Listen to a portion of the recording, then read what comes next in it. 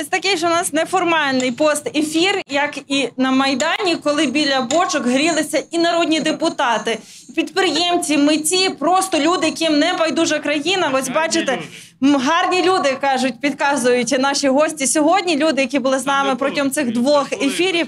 Поруч мене є е, пан Барна. Він колишній народний депутат, очільник Тернопільської області. Скажіть, ми зараз біля таких символічних бочок, але тоді в кожного в серці палали не дрова, а вогонь і любов для України.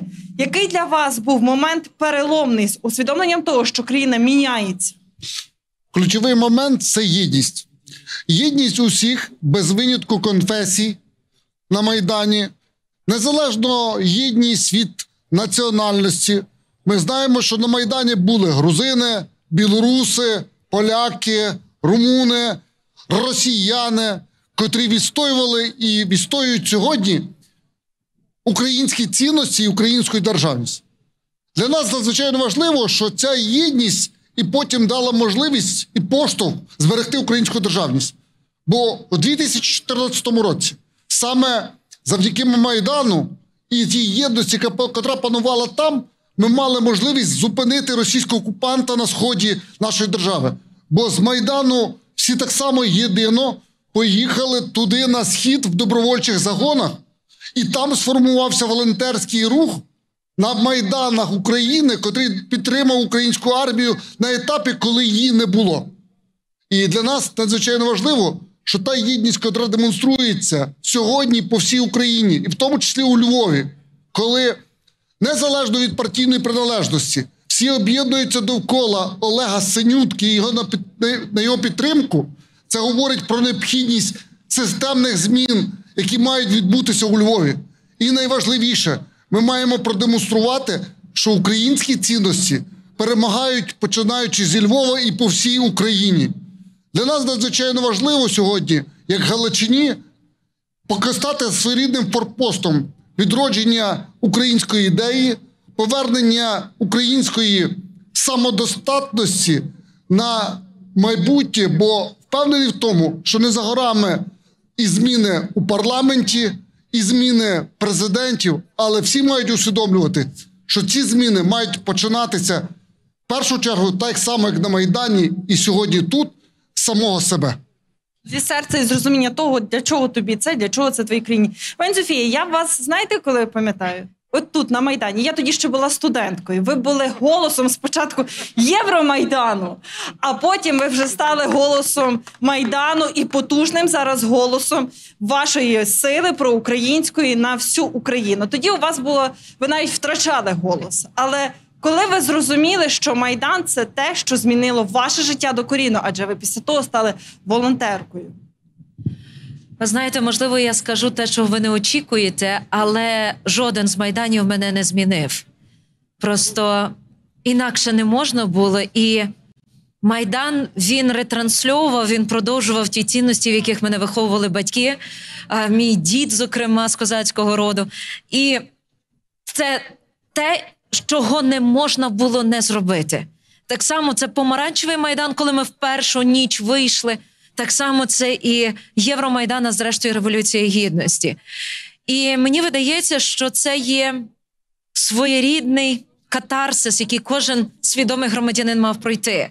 В когось він пройшов, знаєте, як після прививки, в когось вдало виробився імунітет, в когось, на жаль, не виробився. Я аналізуючи оці всі роки після майдану і оцю минулорічну спробу вистрелити собі в голову, як саме прививку. І цей період прививка гниє. Хтось перемагає цю хворобу і стає сильнішим, рухається далі, а хтось продовжує далі хворіти. Оця хвороба ще зараз є в нашому суспільстві. Але все-таки вона робить нас сильнішими, вона дає, робить нас свідомішими. І все-таки я от пам'ятаю, як отут на сцені і сцена Євромайдану я не могла від неї відійти. І отут під сценою Євромайдану мої студенти здавали мені заліки екзамени. І ці студенти вони виросли зовсім інакшими громадянами. Вони виросли небайдужими і вони стали дієвими.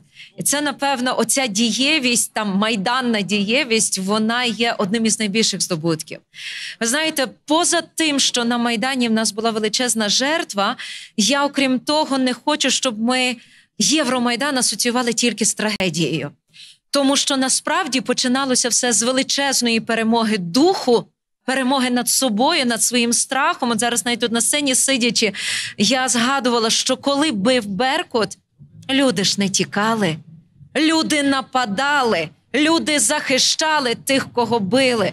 Люди намагалися творити лінію оборони і в результаті виявилися успішними. Потім, зрештою, на сході України під час початку московської агресії. І цей майдан показав нашу силу і нашу здатність до перемог.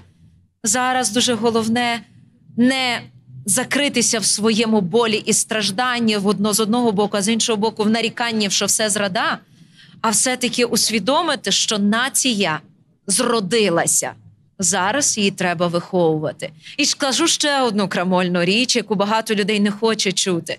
Не тільки в судах і в корупції є проблема. І суди, і корупцію ми не змінимо, не викорінимо ці проблеми, які з ними пов'язані, якщо не зміниться ось тут.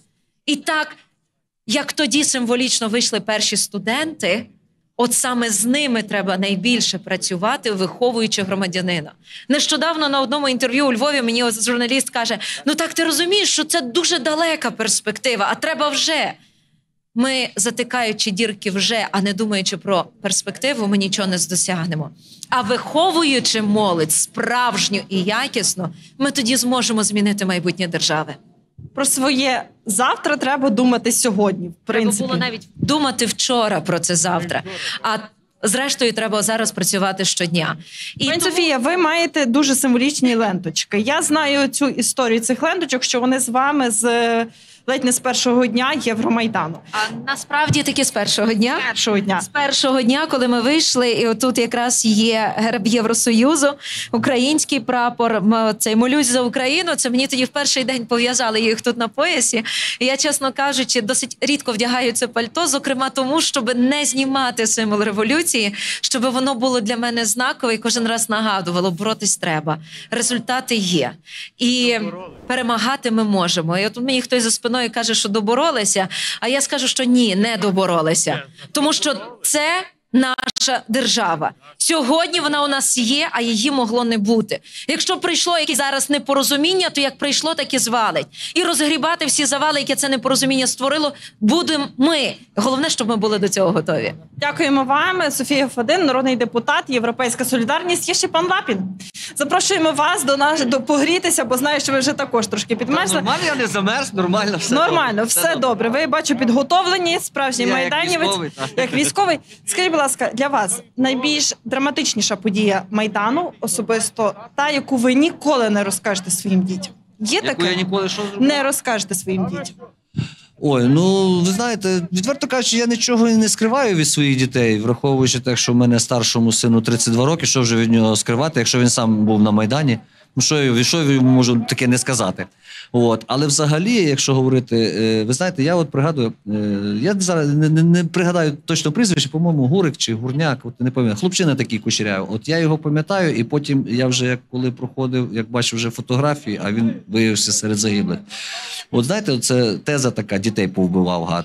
От вона якось була от в той час, таке оце особливо це останні дні вже, і вже після Майдану, перші дні, от буквально, це те, що завжди от оцей ком такий під горло підступав, і вроді би як здоровий мужик, себе відчуваєш, там нерви як канати, а все рівно воно таке, як сльози навертає в будь-якому випадку. Я, я про це, до речі, казав сьогодні в вашому ефірі. Нема в мене якоїсь таємниці, щоб я щось не сказав.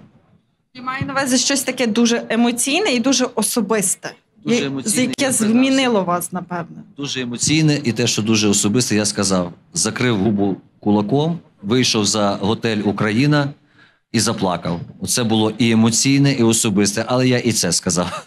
Чесній людині нема що скривати. Зараз для вас вирішальне, що є втримати в нашій країні, тому що ми розуміємо, що у нас дуже багато проблем, і майдан в нас в кожній сфері життя. Є майдан підприємців, які не мають як вести бізнес, малий середній бізнес. Є медичний майдан, де наші медики стають ангелами-охоронцями, роблять неймовірне. Ми не забуваємо про війну на сході. Як втримати нам ці всі майдани? Як перемогти в них, не то що втримати. Ну, дивіться, для мене Майдан все рівно залишається той Майдан, який 14 року, а зараз є продовження того Майдану. От. І як втримати, як перемогти. Ну, те, що Україна вистоїть, це 100%. Доживемо до цього чи не доживемо, хтось з нас побачить це, хтось не побачить. Я як військова людина до цього відношусь спокійно. Але єдине, що, що лише гуртом, бо кажуть, гуртом легше й батька бити. Ну так якось було, от, і так воно і сьогодні є. Лише давайте відійдемо трохи, бо зараз точно так дим іде, аж очі їсть. О, отже, е, лише гуртом. І ви знаєте, оцей от приклад е, у Львові, коли об'єдналися політичні сили. Ну, він досить такий знаковий. Я завжди казав: ви знаєте, коли йде зовнішня агресія, є фортеця. Фортеця тримає оборону. І в цій фортеці багато патріотів. То не гоже, коли патріоти між собою б'ють друг другу, товчуть морду і доводять, хто з них більший патріот. Якраз гоже об'єднатися і бити зовнішнього того ворога. А зовнішній ворог запустив нам контрреволюцію сьогодні в систему управління державою. Наше завдання. Дочистити те, що не дочистили в 14-му. Оце, от я вважаю, це наше головне завдання. І, і тільки таким чином ми вистоїмо і поб'ємо того зовнішнього ворога.